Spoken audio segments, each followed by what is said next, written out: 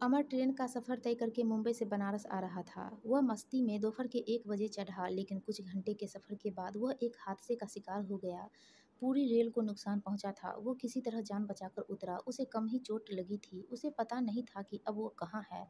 तभी एक बूढ़ी अम्मा ने उसका हाथ थाम कर कहा, बेटा, अम्मा से रूट कर तू कहाँ भाग गया था? उसने चौंक कर पीछे की ओर देखा। तकरीबन पैंसठ साल की वो अम्मा उसे अपना बेटा समझ रही थी। फिर तो आसपास के सारे लोगों ने अमर को बुढ़िया का बेटा साबित कर दिया। उसे ज़बरदस्ती बुढ़िया के घर जाना पड़ा। उस बुढ़िया के बेटे की शक्ल और उम्र पूरी तरह अमर से मिलती मिलती जुलती थी। चलो थोड़ा मज़े ले लेते हैं, उसने मन ही मन सोचा। रात को खाना खाने के बाद जैसे ही वह सोने के लिए कमरे में पहुँचा तो चौंक गया। बुढ़िया की बहू गर्मा गर्म दूध लेकर उसके पास आई। वह भरे पूरे बदन की गोरे रंग की औरत थी। अब मैं कभी आपसे नहीं लड़ूँगी, आपकी हर बात मानूँगी। वह औरत उससे लिपटते हुए बोली, क्यों? क्या हुआ था? अमर ने बड़ी हैरानी से पूछा, आप शादी के तीन महीने बाद अचानक गायब हो गए थे। सबने आपको बहुत ढूंढा, पर आप कहीं नहीं मिले। इस गम में बाबूजी भी चल बसे। वह रोते हुए बता रही थी, मैं सब भूल चुका हूँ, मुझे कुछ याद नहीं है, मैं किसी को नहीं पहचानता, वह शांत भाव से बोला। उस औरत ने रात को उसे भरपूर देह सुख दिया। सुबह के करीब सात बजे उसकी नींद खुली। उसने बरस करके चाय पी। दिन में पता चला कि वह दुकान चलाता था। दिन भर में अपनी इस ज़िंदगी के बारे में काफ़ी कुछ जान गया। उसकी चार बहनें थी और वह इकलौता भाई है। अम्मा के बेटे का तकरीबन पाँच साल पहले शादी हुई थी।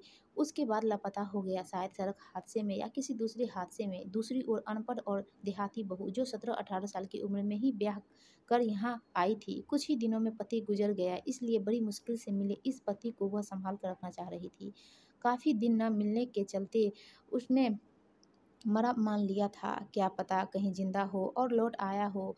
उस हादसे में क्या पता यादाश्त चली गई हो, इसलिए सास बहू दोनों ही अपने अपने तरीके से उसे याद दिलाने की कोशिश में थी। दो दिन बाद ही सभी बहनें, बहनोई और बच्चे आ गए। अम्मा, यह तो अपना ही भाई है। चौथी बहन उसे ढंग से देखते हुए उसके हाथ पैरों को छूकर बोली, क्या मैं अपने साले को नहीं पहचानता? पक्का वही है। मुझे तो शक की कोई गुंजाइश ही नहीं दिखती है। सुधीर के, सुधीर, मैं तेरा तीसरे नंबर का जीजा हूँ, साथ ही तेरी पत्नी का बड़ा भाई भी जीजा उसके कंधे पर हाथ रखते हुए बोला, जी कहकर वह चुप हो गया। बस वह सबको बड़े ही ध्यान से देख रहा था। मानो उन्हें पहचानने की कोशिश कर रहा हो। अरे अम्मा, यह हादसे में अपना यह दस्त बिल्कुल ही खो बैठा है। बाद में इसे सब याद आ जाएगा। इतना कहकर उसकी बहन उसका हाथ चलाने लगी। अमर मुंबई में अकेला रहता था। वहीं रहकर छोटा मोटा काम करता था, जबकि यहाँ उसे पत्नी, भरा पूरा परिवार मिल रहा था। वह सुधीर का हु बहू था। आस पड़ोस वाले से लेकर के साथ साथ सारे नाते रिश्तेदार उसे सुधीर मान रहे थे और यादाश्त खोया हुआ भी। पत्नी एकदम साय की तरह उसके साथ रहती ताकि वह दोबारा भाग न जाए। एक दिन दोपहर का खाना खाने के तकरीबन एक घंटे बाद वह अपना काम समझने की कोशिश कर रहा था। यह उसकी दुकान थी। कोई रजिस्टर या कागज़ पता चला कि सभी अंगूठा छाप थे। अब कैसे बताए कि वह बीटेक है, लेकिन छोटा मोटा चोर है। मोटरसाइकिल पर मास्क लगाकर जान, जाना, औरतों के जेवर उड़ाना और घरों में चोरी करना उसका पेशा है, मगर इस परिवार में सभी सीधे साधे हैं। उसकी तीसरे नंबर की बहन ने पूरे पाँच तोले का सोने का हार पहना हुआ था। गोरा रंग, दोहरा बदन, भारी, भरकम शरीर पर वह हार जच रहा था। जब वह गौर से उस हार को देखने लगा तो झट से बहनोई बोला, क्यों साले साहब, पसंद है तो रख लो इस हार को।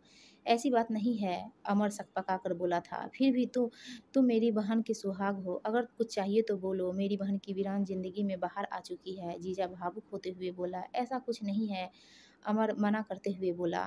शाम को उसका साला जब जाने लगा तो कुछ रुपए उसकी पत्नी को देने लगा तो बोला, दुकान काफ़ी दिनों से बंद पड़ी हुई है। मैं कल ही जाकर दुकान को सही करा दूँगा। न भैया, मेरे पास पैसे हैं। इनके पास भी जेब में रुपए हैं। वह भाई को पैसे देने से मना करते हुए बोली, मगर मैं तो दुकान चलाना भूल गया हूँ। कैसे बेचूँगा? उसके दिमाग में तेज़ी से कुछ चलने लगा। क्या सोच रहे हो साले साहब? जीजा मानो उसके चेहरे को गौर से पढ़ते हुए बोला, दुकान मैंने कभी चलाई नहीं है। मैं तो टेलीविज़न ट्रांजिस्टर फ्री सुधारना ज़रूर जानता हूँ। वह जीजा को समझाते हुए बोला, फिर तो हमारे पड़ोस में दुकान ले लेते हैं। पाँच दस किलोमीटर में एक ही दुकान है। खूब चलेगी। जीजा हँसते हुए बोला, अगले दिन सुबह घर से थोड़ी दूर बंद पड़ी दुकान उसे सौंप दी गई। तो दिन भर में उसे सुधार कर दुकान की शक्ल दे दी। ज़रूरी सामान का इंतज़ाम कर किया गया। पहले दिन पाँच सौ रुपये का कमा कर लाया। तो बहुत खुश था। जीजा भी उसके काम से खुश था। वह उसे खुद घर छोड़ने आया था। अम्मा, यह तो कुशल कारीगर है। देखो, आज ही इसने पाँच सौ रुपये कमा लिए।